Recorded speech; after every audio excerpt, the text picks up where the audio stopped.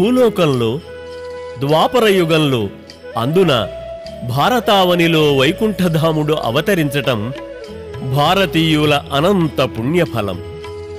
పౌరాణికంగా ప్రసిద్ధి పొందిన మధురా నగరంలో శ్రీకృష్ణుడు జన్మించటం వలన మధుర మరింత మధురంగా మారింది.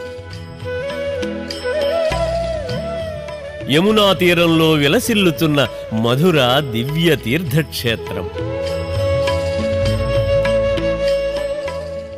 భక్తులకు మోక్షాన్ని ప్రసాదించే ఏడు పురాలు భారతదేశంలో ఉన్నాయి. అవి అయోధ్య మధుర మాయ కాశీ కంచి అవంతి ద్వారవతి. వీటిల్లో మధుర సాక్షాత్తు శ్రీకృష్ణుని జన్మస్థలం గొప్ప పౌరాణిక క్షేత్రం. కంసాది దుష్ట రాక్షస సంహార నిమిత్తం రాక్షస ప్రవృత్తి కలిగిన దురహంకారమత్తులైన మానవులను సన్మార్గంలో నడిపించటం కోసం దేవతా కార్య సాధన కోసం శ్రీనాథుడు దేవకీదేవికి అష్టమపుత్రునిగా జన్మించటం కోసం ఆమె గర్భంలోకి ప్రవేశించాడు. కంసుడు మృత్యుగర్భంలోకి ప్రవేశించే కాలం సమీపించింది.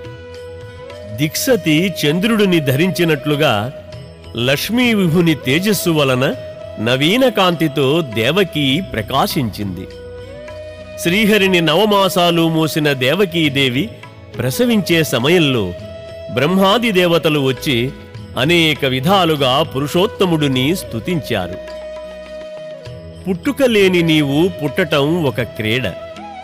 నీ చరణాలను స్పృశించి ధరణి ధన్యురాలవుతుంది నీ అవతారం మంచివారికి మంగళప్రదం అని బహువిధాలుగా కీర్తించి దేవకీదేవిని ప్రశంసించి వెళ్ళిపోయారు.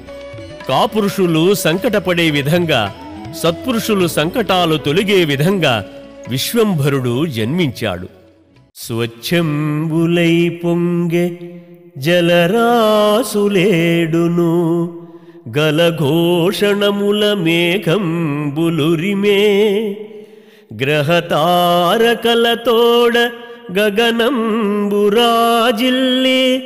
దిక్కులు మిక్కిలి తెలివిదాల్చె కమ్మని చల్లని గాలి మెల్లన వీచే హోమానలంబు